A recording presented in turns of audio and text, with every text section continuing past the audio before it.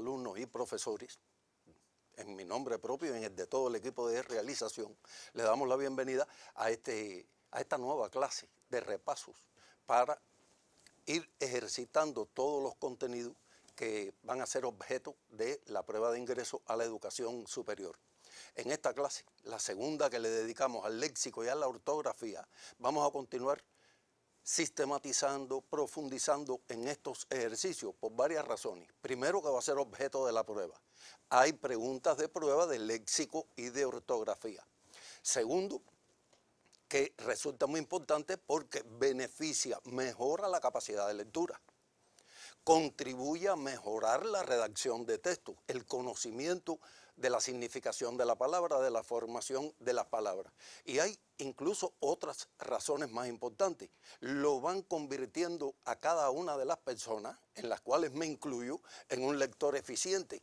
Y en un lector eficiente y en una persona con hábitos de lectura al poder disfrutar de la buena literatura y no solamente estoy hablando de la literatura artística, sino de los textos científicos, de los textos deportivos, que también tienen su propia, su propia belleza sobre este tema habíamos dejado un trabajo independiente en la clase anterior que vamos a revisar a partir de esta diapositiva que les estoy mostrando.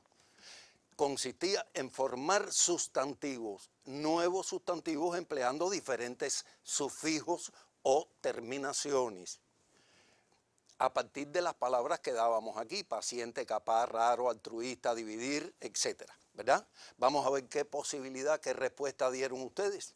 Miren ahí, paciencia e independencia. Así que esta terminación me está dando nuevos sustantivos. La terminación DAT me da capacidad y facilidad. La terminación esa, observen su ortografía, me da rareza, certeza, la terminación ismo, altruismo y nerviosismo, división y aparición, y miren la peculiaridad, recordamos que las terminaciones sion siempre nos van a dar sustantivos, pero con dificultades ortográficas. Se pueden escribir con S, con C o con X y por tanto hay que prestarle atención a este elemento ortográfico. Por tanto, les estoy sugiriendo, recuerden copiar a dos manos en aras del tiempo, en esta diapositiva algunas terminaciones que son frecuentes en la formación de sustantivos. Las terminaciones sion con cualquiera de sus grafías, C, S o X. Las terminaciones ansia, encia, que siempre dan eh, sustantivos. Las terminaciones ansia, encia son derivados de adjetivos y de unos pocos verbos que pueden dar sustantivos de este, de este tipo. Se escriben siempre con C, exceptuando el sustantivo ansia, que se escribe con S, y hortensia, que se escribe con S también. Ahora, con hortensia hay que tener cuidado. Si es nombre de la flor, se escribe con minúscula. Pero si es nombre de mujer, bueno, a las mujeres, a todas les quedan bien los nombres de, de flores y si son maestras más todavía, pues entonces Hortensia habrá que escribirlo con mayúscula, porque sería entonces nombre propio. Fíjense que son los detalles de la ortografía, que a veces nos pueden eh, representar un tropiezo en la prueba para obtener una buena cantidad de puntos. Tenemos las terminaciones esa e ismo, derivados, dan derivados de adjetivo, y otras terminaciones posibles, como that, es, or, or con la que hay que tener cuidado porque puede dar sustantivo o puede dar adjetivo. Algunos sustantivos como fecundidad, esbeltez, profesor, homenaje, lenguaje, pensamiento, que mire, tienen estas terminaciones que puede darme. A usted en la prueba le van a pedir, escriba un sustantivo que sea de la familia de, de la palabra que sea. Mire, con esto usted tiene la posibilidad de ir eh, resolviendo el problema, nada más que utilizando su pensamiento en forma lógica para encontrar soluciones lingüísticas. Bien, entonces vamos a ver que los adjetivos también los podemos formar a partir de terminaciones, determinaciones específicas. Así que podemos formar sustantivos, adjetivos, verbos o adverbios. Vamos a ver en el caso de los adjetivos y le estoy proponiendo una serie de palabras, corrección, ruido, casualmente, formatear, base y útil, para que a partir de ellas usted forme adjetivos. Vamos a dar un minutico. Recuerde que eh, estos ejercicios los vamos a hacer, como usted tiene una buena formación y una buena ejercitación, los estamos haciendo contra reloj. Un minutico para formar los adjetivos e inmediatamente vamos a ver la solución.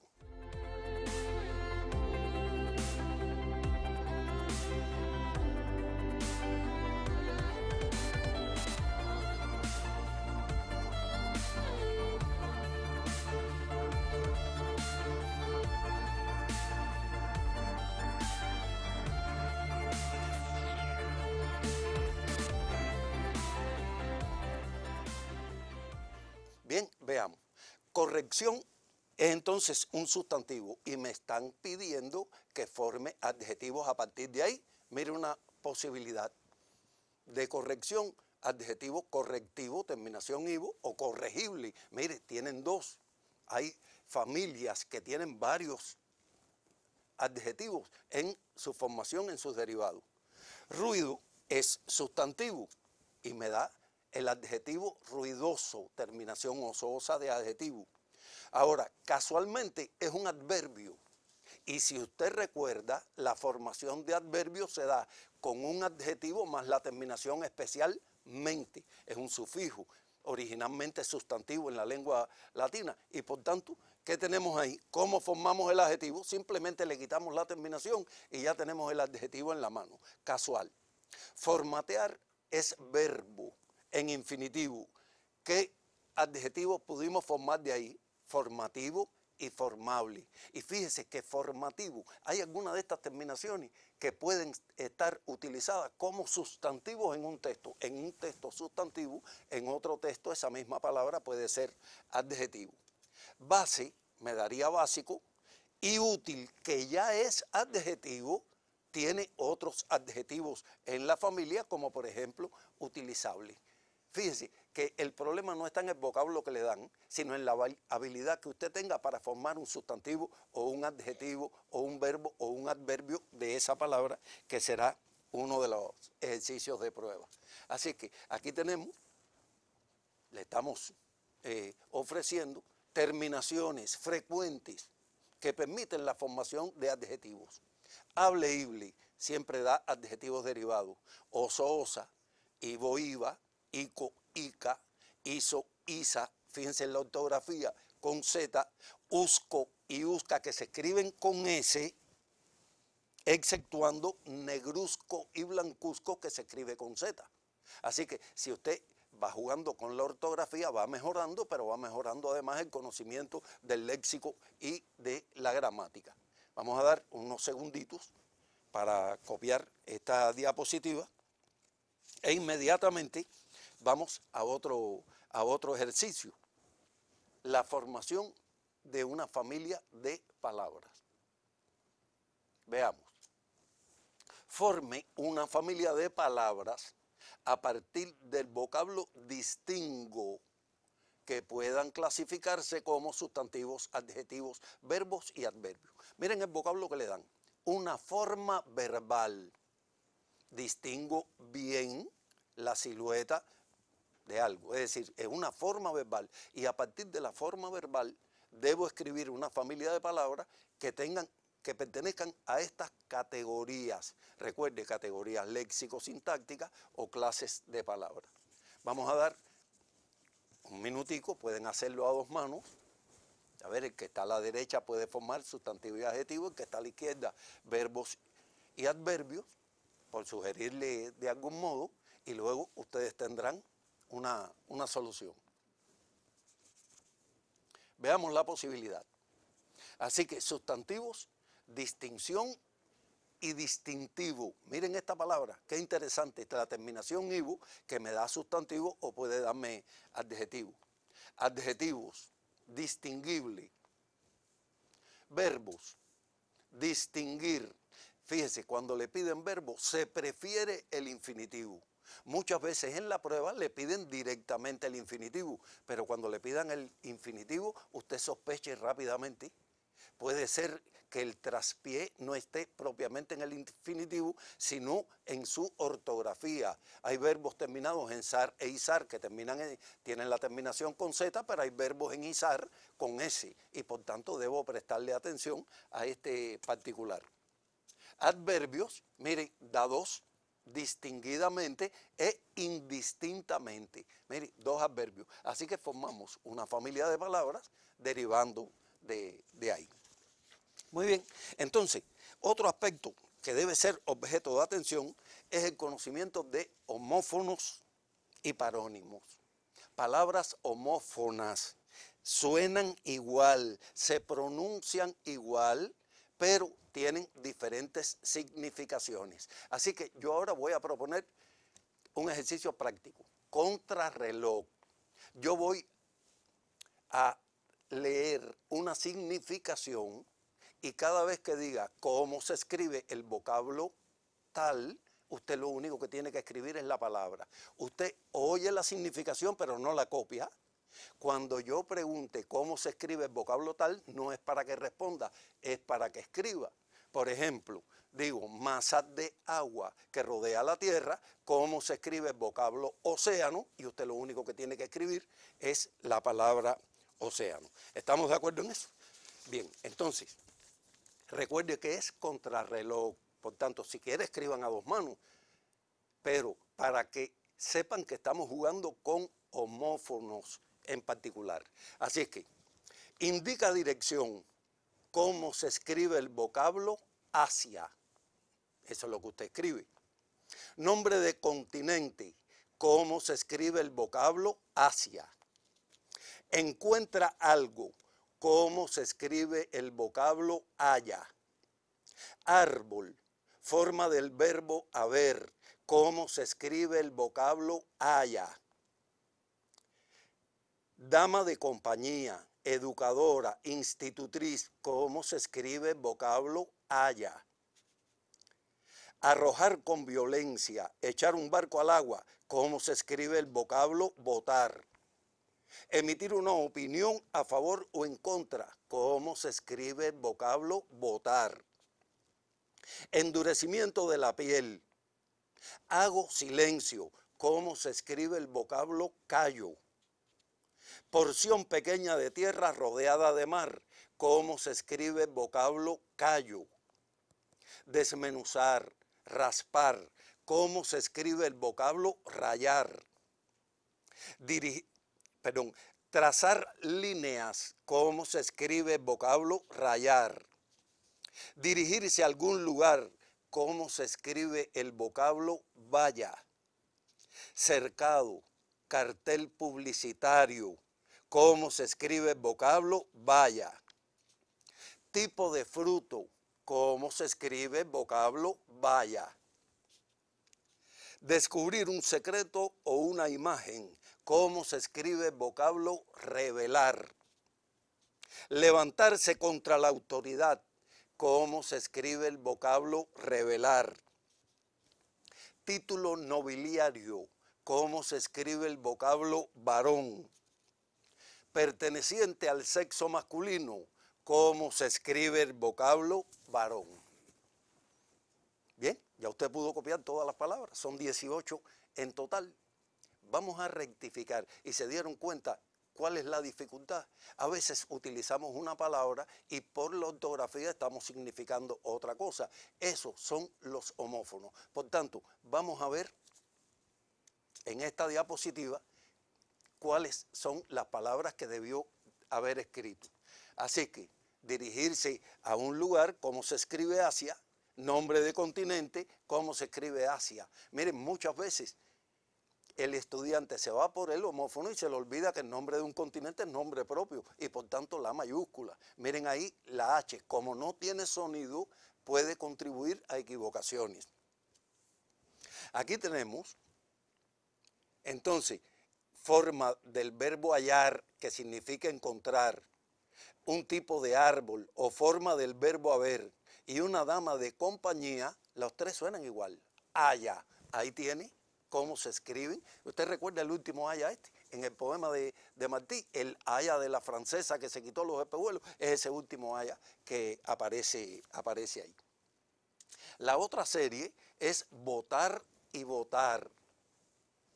Fíjese, el votar de emitir voto, una aprobación o un rechazo, cuando se hace eh, en forma personal, cada uno emite su voto, ese que, que está ahí. Inmediatamente tenemos callo y callo.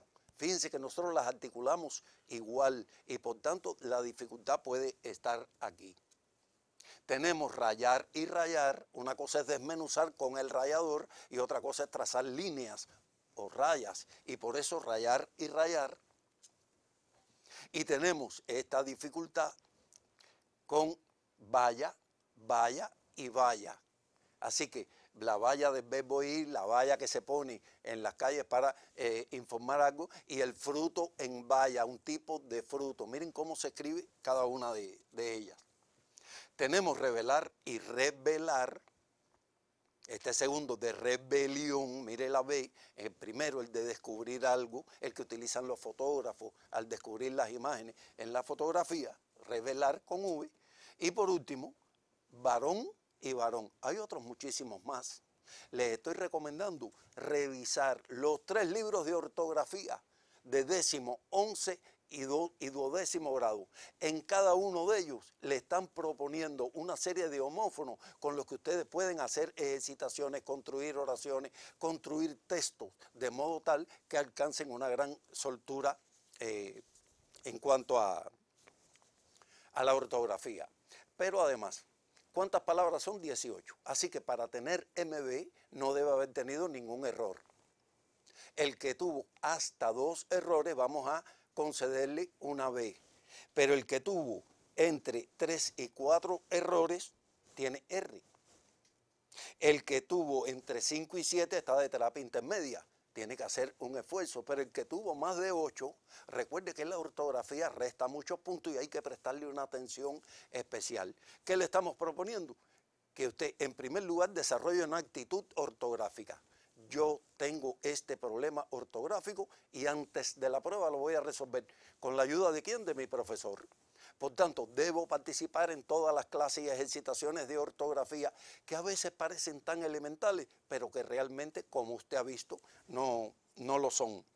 Debe revisar cada uno de los folletos de ortografía que tienen cada uno de los grados. Y fíjense que no le estoy diciendo solo el de duodécimo grado, sino los tres.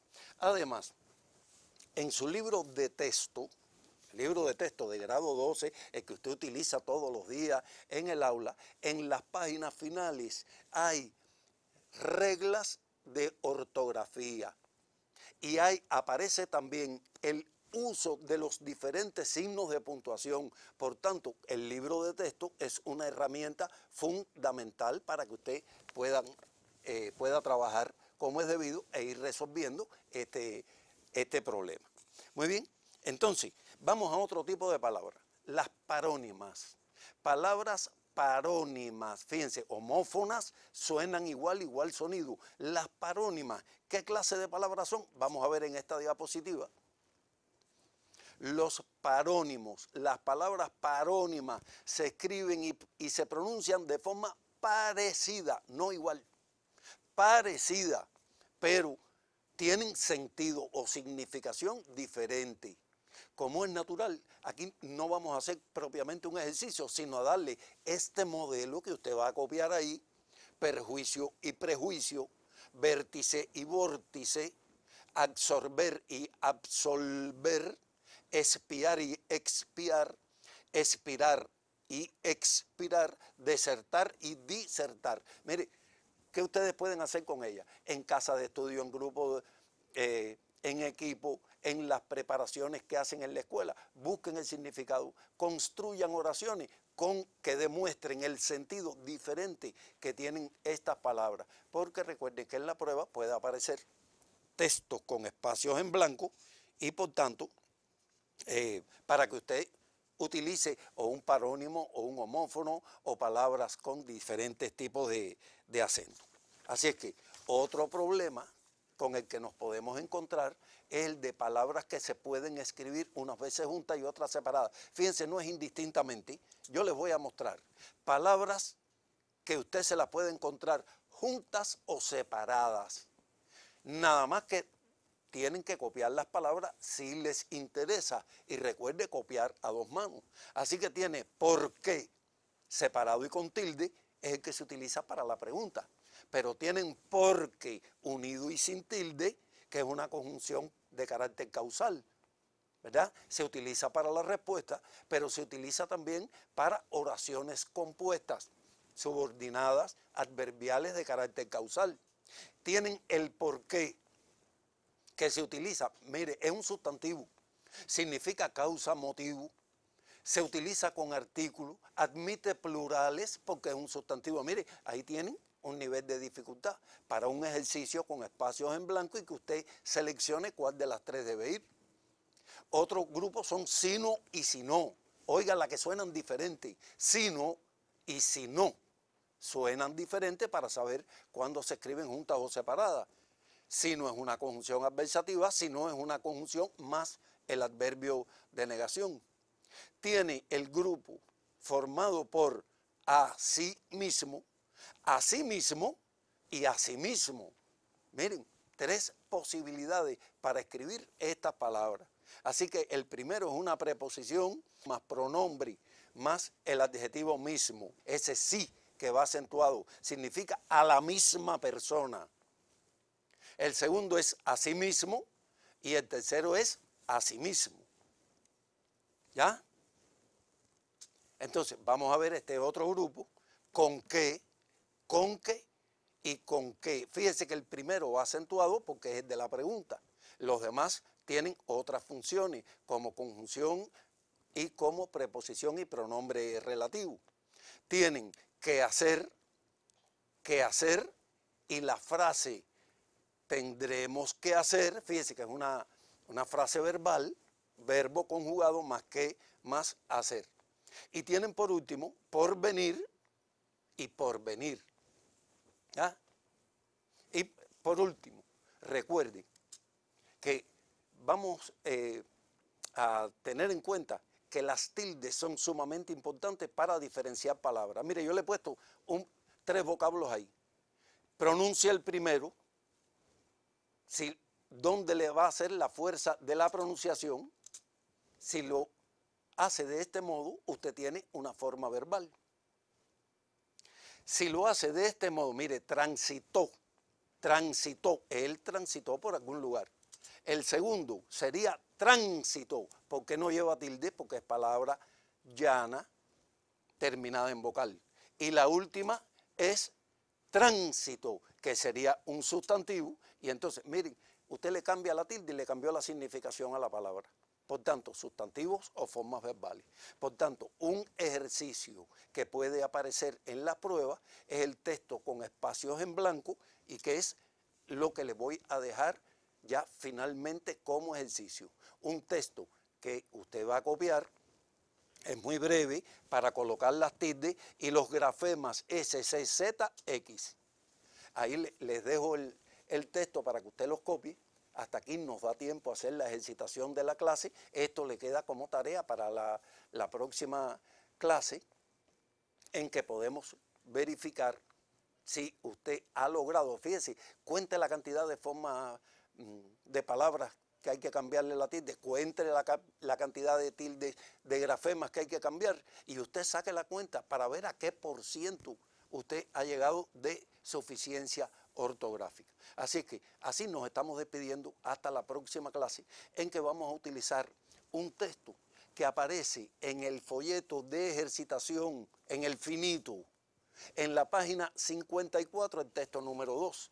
Ese texto ya se envió a las escuelas, por tanto usted lo debe tener, pero si no lo encuentra ahí y vamos a trabajar entonces en una ejercitación donde vamos a mm, englobar y a mm, hacer aparecer todos estos contenidos que hemos estado dando en, en este momento. Así nos despedimos, los dejo con el párrafo para que puedan terminar de copiarlo hasta un próximo encuentro.